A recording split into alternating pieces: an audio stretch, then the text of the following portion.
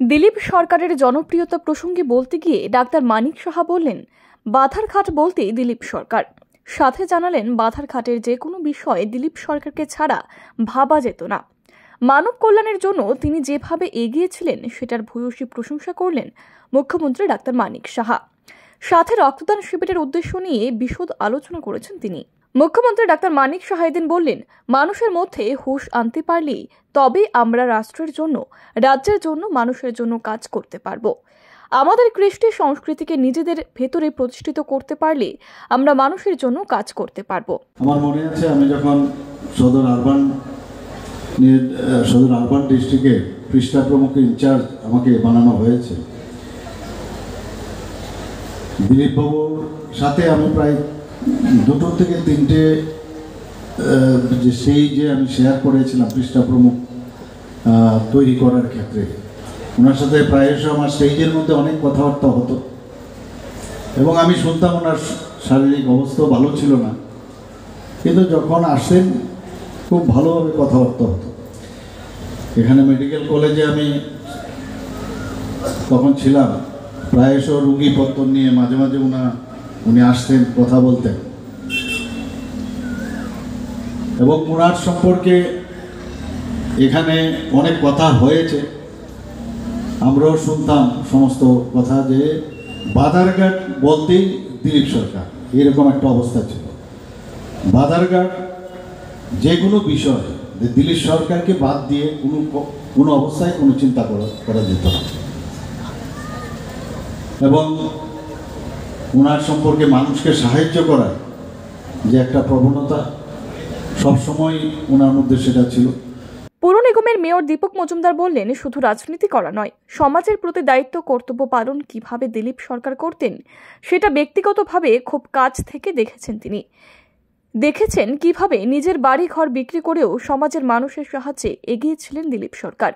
সবার সম্মুখে বললেন, বাধারঘাট এলাকায় দিলীপ সরকার যে ধরনের কাজ করেছেন, তাতে সবকা চাঁদ, সবকা বিকাশ এই মন্ত্রই যেন প্রতিধ্বনিত হয়েছে। দিলীপ সরকারের পরিবারের সদস্য মিনা সরকারের উপর যে আস্থা এলাকাবাসী রেখেছেন, তার জন্য মেয়র দীপক মজুমদার স্বাগত জানান এলাকাবাসী সহ দলকে।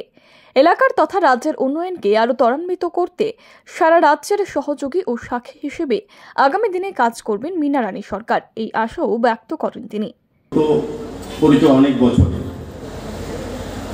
ওনার পরিবারের একজন সদস্য আমি ধরতে পারেন প্রতি সময় আমি ওনার সঙ্গে আসতাম।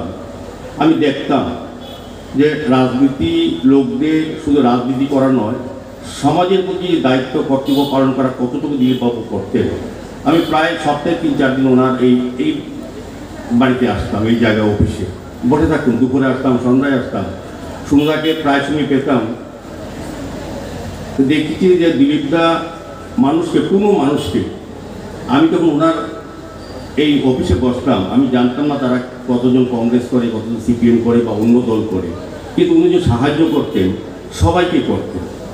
পরে যখন জানতে পারব জিজ্ঞেস দাদা, উনি কোন এলাকা উনি সিপিএম করে কিন্তু উনি কংগ্রেসের বিধায়ক, প্রাক্তন মন্ত্রীও ছিলেন। এই এলাকার অনেক কাম, কাজ করেছে। এই গদারঘাট উন্নয়নের সঙ্গে দিলীপ সরকার, তার পরিবার, রাজনীতি জয়েন করার আগে থেকেই জড়িত। বহু মানুষকে সাহায্য করেছেন, তাদের নিজস্ব জমি। রাজীব ভট্টাচার্য রক্তদানের মতো মহতী কাজকে দিলীপ সরকারের প্রয়াণ তিথিতে গ্রহণ করার জন্য ধন্যবাদ জানান সকল উদ্যোক্তাদের। সাথে বললেন, মুখ্যমন্ত্রীর আবেদনকে সাড়া দিয়ে সারা রাজ্যে এই মহৎ কাজে এগিয়ে যাচ্ছে রাজ্যের সমস্ত অংশের মানুষ। সঙ্গে জানালেন, রক্তদানের মাধ্যমে সঠিক অর্থে শ্রদ্ধাঞ্জলি জানানো হয়েছে প্রয়াত জননেতাকে। মুখ্যমন্ত্রী রয়েছেন, উনি বক্তব্য রাখবেন। আমি আর খুব বেশি একটা বলব না। আমি ধন্যবাদ জানাই। যারা এই উদ্যোক্তা প্রয়াত দিলীপ সরকারের আজকে শ্রদ্ধাঞ্জলি দেওয়ার জন্য ব্লাড ডোনেশন রক্তদানের মতো একটা কাজ, মহৎ কাজ আপনারা ব্রতী হয়েছেন, তার জন্য আমি আপনাদের কাছে, আপনাদেরকে আমি অসংখ্য ধন্যবাদ জানাই। আমরা জানি, বিগত কয়েক মাস যাবত আমরা নির্বাচনের কাজে ব্যস্ত ছিলাম। তো নতুন সরকার প্রতিষ্ঠার পর মাননীয় মুখ্যমন্ত্রীর কাছে গোচরে আসে যে ব্লাড ব্যাংক গুলাতে রক্তের স্বল্পতা রয়েছে। মাননীয় মুখ্যমন্ত্রী তৎক্ষণাৎ উনি সমাজের প্রত্যেকটা অংশের মানুষের কাছে আবেদন রাখেন যে যাতে ব্লাড ডোনেশন করা হয়।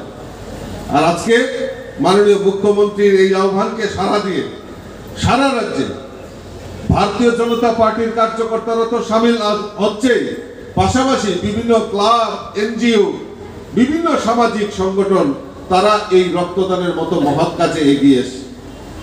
তো কাজেই এই যে ব্লাড ডোনেশন আজকে প্রয়াত নেতার প্রতি আমরা শ্রদ্ধাঞ্জলি, প্রকৃত শ্রদ্ধাঞ্জলি আজকে, কারণ উনাকে সামনে রেখে যে উনি যে পরিশ্রম যে অক্লান্ত এই সমাজের জন্য যে কাজ করে গেছেন, আর সমাজের প্রত্যেকটা অংশের মানুষ আজকে ব্লাড ডোনেশন করছেন, ওনার প্রতি শ্রদ্ধা জানানোর জন্য সেটা একটা বড় প্রাপ্তি।